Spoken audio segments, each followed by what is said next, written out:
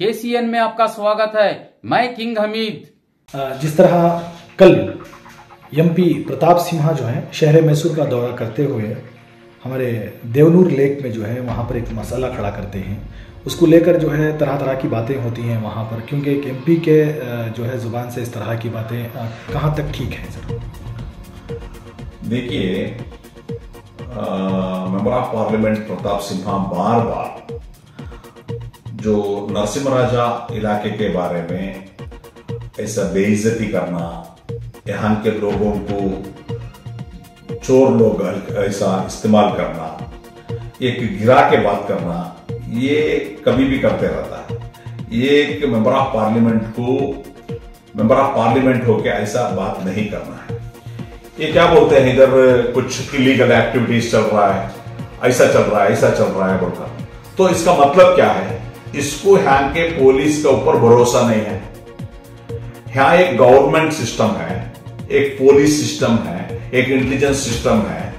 इनका सरकार है डबल इंजन सरकार बोलते हैं लोग। देखिए सेंट्रल में इनका हुकूमत है स्टेट में इनका हुकूमत है कारपोरेशन में इनका हुकूमत में ये सब रहने के बावजूद भी ये जो एजेंसीज को भरोसा करना है ना पुलिस सिस्टम को भरोसा करना है ना, ये बार बार लोगों के सामने एक पर्टिकुलरली मुस्लिम कम्युनिटी को लेकर बेइज्जती करना, ये ये ये इनका एक एक प्रैक्टिस ही बन गया, कभी भी ऐसा करना।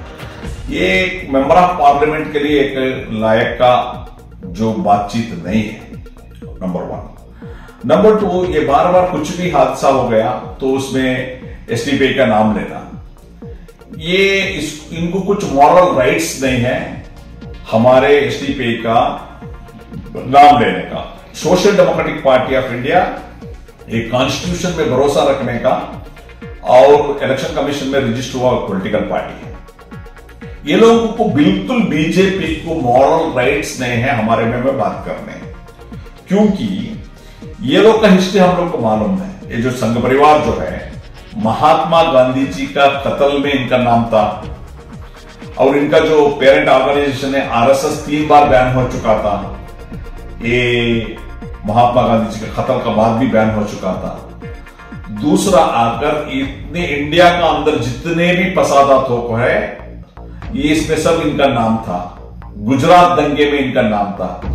जो गुजरात दंगे में जो नरोड पाटिया जो इंसिडेंट हुआ, उसमें कम सरस एक साठ लोगों का कत्ले आम हुआ था।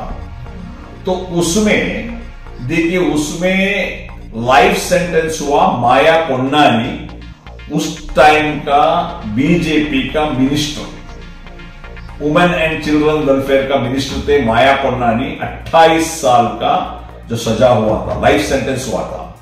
और एक अक्यूज थे, उनको भी लाइफ सेंटेंस हुआ था, वो बाबू बजरंगी, बजरंग दल का स्टेट प्रेसिडेंट और खुद इनका होम मिनिस्टर जो अमित शाह इनको तड़ीपार किए थे कुछ एनकाउंटर केस में।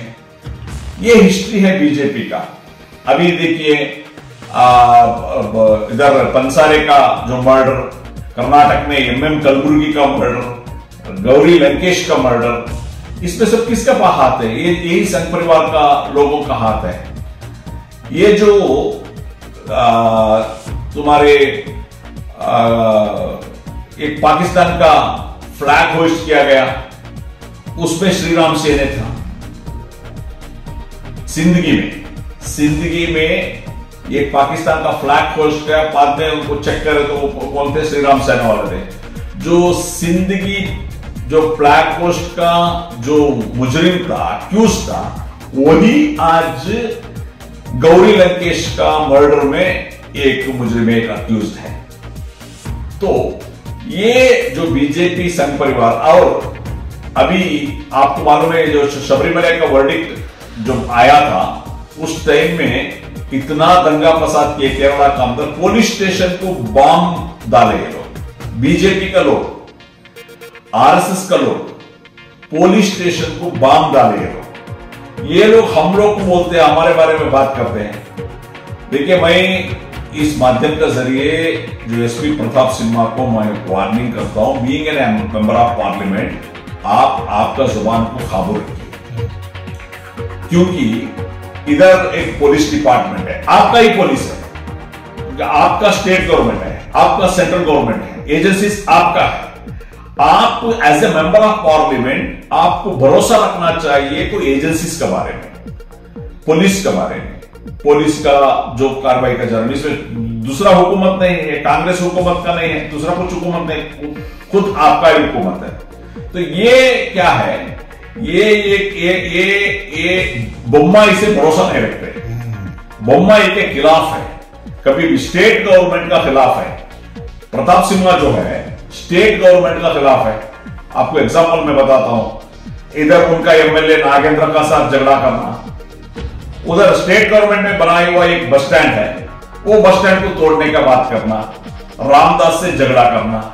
उधर उनका बीजेपी का एमएलए अपचू रंजन है सोमारपेट में उनका खिलाफ करना के जी बोपैया का खिलाफ करना आ, स्टेट गवर्नमेंट का खिलाफ बात करना ये ये सभी चीज़ है। यानी कि स्टेट गवर्नमेंट का खिलाफ ये बार बार इस आवाज़ करते रहता है। इसका बीच में एसडीपी को ये लाता है। तो मैं इसको कंडम करता हूँ। मैं उम्मीद करता हूँ जो भी पुलिस डिपार्टमेंट है पुलिस डिपार्टमेंट इसका तहकीकात करेगा। दूसरा, ये बार बार ऐसा लाने का एक साजिश जो है टोटली एडमिनिस्ट्रेशन में फेल्यूर है। फोर्टी परसेंट कमीशन में बहुत बड़ा एक हंगामा हुआ है। दूसरा अभी अभी वोटर का वोटर का वोटर का नाम चुराए वो लोग ये लोग। जो बीजेपी का जो लोग जो है, कितना कितना कितना जालिम ये लोग है। वोटर को वोटर का नाम चुराते ये लोग। डर के लोग को इलेक्शन सही तरीके से फेस करने का ताकत नहीं है। इलेक्शन को सही तरीके से डेमोक्रेटिक वे में फेस करने के लिए तैयार इसलिए कुछ एजेंसीज को ये लोग छोड़ के वोटर का नाम चुराते हैं। उसमें अशोक नारायण जो मिनिस्टर है, उनका नाम है। उनका चेक मिला है वो ऑफ़िस में, उनका लेटरहेड मिला है वो ऑफ़िस में। इतने सारे टोटल एडमिनिस्ट्रेशन में फेल्यूर है करप्शन है। ये सब रखते हुए लोग अवाम का जो असल मुद्दे को डाइवर्ट करने के लिए प्रताप सिन्हा ऐसा बात करते रहते हैं। तो आप नरसिम्हा राजा कॉन्स्टिट्यूंसी के बारे में बार बार बोलते रहते हैं। तो अगर आपको ताकत है, आप एक काम कीजिए, आपका मेंबर ऑफ़ पार्लियामेंट कॉन्स्टिट्यूंसी से नरसिम्हा राजा को निकाल दीजिए। नरसिम्हा राजा को निकाल को काम करिए, वो वो तो काम कीजिए आप। वो काम नहीं करेंगे। बार बार मुसलमानों को गिराने का काम करेंगे, बेइज्जती काम करने का करेंगे, ये तो एक वोट पोलराइजेशन का एक काम है। अगर आप मेंबर ऑफ़ पार्लियामेंट है, आप डेवलपमेंट का बात करो। हम, आप अगर डेवलपमेंट का बात करते हैं तो हम सभी तमाम लोग आपको सपोर्ट करेंगे। ये छोड़ के पोलराइजेशन के लिए आप हिंदू, मुस्लिम, नरसिम्हा राजा को बेइज्जती करेंगे, नरसिम्हा राजा कॉन्स्टिट्यूंसी को बेइज्जती करेंगे, या लोगों को बेइज्जती करेंगे, या आपका खुद का गवर्नमेंट का बेइज्जती किया जैसा ही है इतना ही बताना चाहता